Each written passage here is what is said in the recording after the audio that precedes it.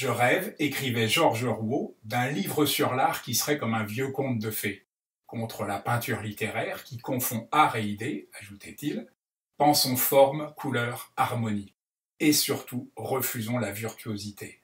Rouault, tout comme Matisse, avait été formé aux Beaux-Arts de Paris dans l'atelier de Gustave Moreau.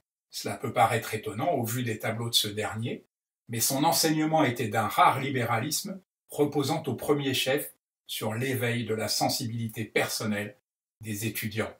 Ainsi aida-t-il des artistes aussi différents que Marquet, Matisse ou Rouault à prendre conscience de leurs dons propres. Rouault lui-même avouera Gustave Moreau nous a appris à respecter nos visions intérieures ainsi qu'à discipliner notre volonté sans idées préconçues. Moreau ira d'ailleurs jusqu'à lui conseiller de quitter l'école et de travailler seul après qu'il eut essuyé deux refus au concours du prix de Rome.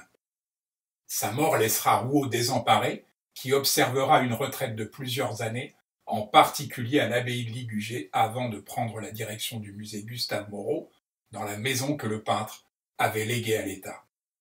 Mais il faut croire que cette cure de solitude n'avait pas été inutile. Vers la trentaine, s'amusait Georges Rouault, j'ai reçu soit un coup de foudre, soit un coup de grâce, selon l'angle où l'on se place.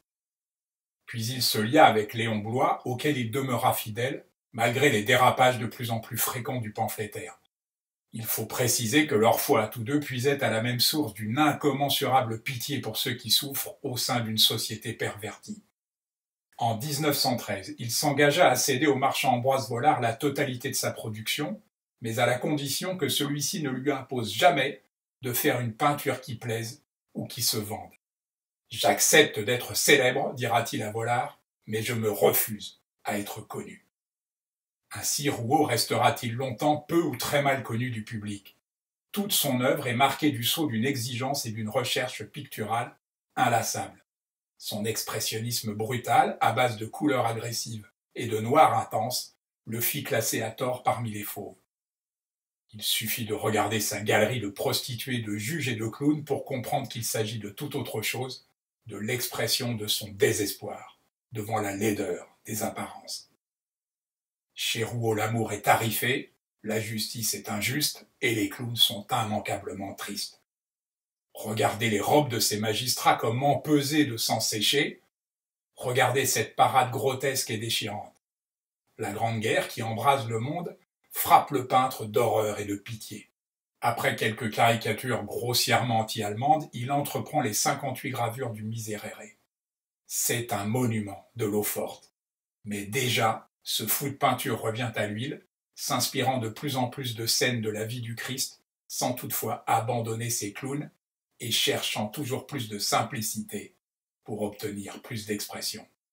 Pour Rouault, ce ne peut être que l'âme qui agite l'homme, et c'est à la couleur qu'il confie le soin de représenter cette âme. Jusqu'au bout, il cherchera par la couleur à faire jaillir la lumière sur ce monde qu'il jugeait de ténèbres. En 1948, s'étant fait restituer par voie judiciaire et par les héritiers d'Ambroise Vollard plus de 700 toiles qu'il jugeait imparfaites, Georges Rouault en jeta lui-même la moitié au feu, considérant qu'il n'aurait pas le temps de les retoucher. Si l'épisode, qui consterna les témoins comme l'huissier dûment mandaté, donne une haute idée de son intégrité, il modifia aussi profondément la jurisprudence en matière de propriété artistique. Disposant ainsi souverainement de ses œuvres, Rouault a défini la création en termes de liberté absolue. Dix ans plus tard mourut celui qui se définissait comme peintre de la joie malgré le tragique de ses sujets. Né dans une cave au son des canons de la commune, le dernier jour de la semaine sanglante, Rouault l'avouait, la peinture est pour moi le moyen d'oublier la vie.